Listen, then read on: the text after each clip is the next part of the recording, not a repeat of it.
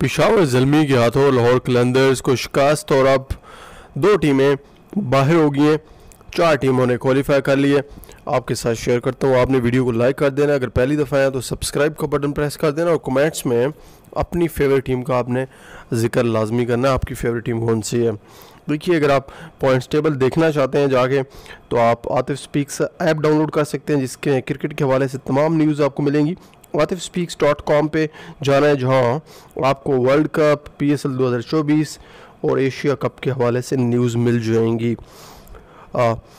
Number one Lahore Qalandars आठ matches खेले हैं इन्होंने।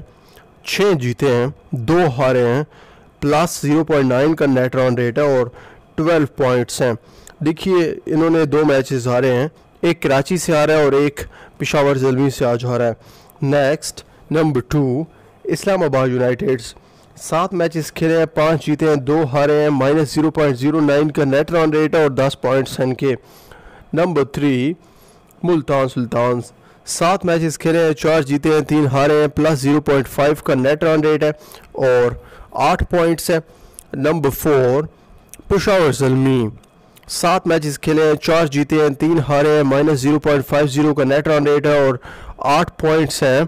सो आखिरी दो जो टीमें हैं, वो कराची किंग्स और कोयडा ग्लेडिएटर्स हैं। कराची किंग्स ने नौ मैचेस खेले हैं, दो जीते हैं, सात हारे हैं और चार पॉइंट्स है, प्लस का नेट रन रेट है और ये ऑफिशली आउट हो चुके हैं। यानी इनका पी एस एल दो हज़ार तेईस का सफ़र यहीं पे अख्ताम होता है और अब आपको ये दोबारा एक मैच खेलते हुए नज़र आएँगे, यानी दसवां इनका मैच रह गया।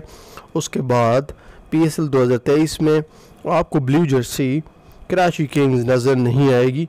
नेक्स्ट लास्ट पे कोयला ग्लेडिएटर्स आठ मैचेस खेले हैं, दो जीते हैं छः हारे हैं माइनस में नेट रन रेट और चार पॉइंट्स हैं। अनऑफिशियली टूर्नामेंट से बाहर हो चुके हैं। टॉप चार टीमें जो हैं, लाहौर, इस्लामाबाद, मुल्तान, सुल्तान, पिशावर, जलमी, ये चारों क्वालिफाई कर चुकी हैं।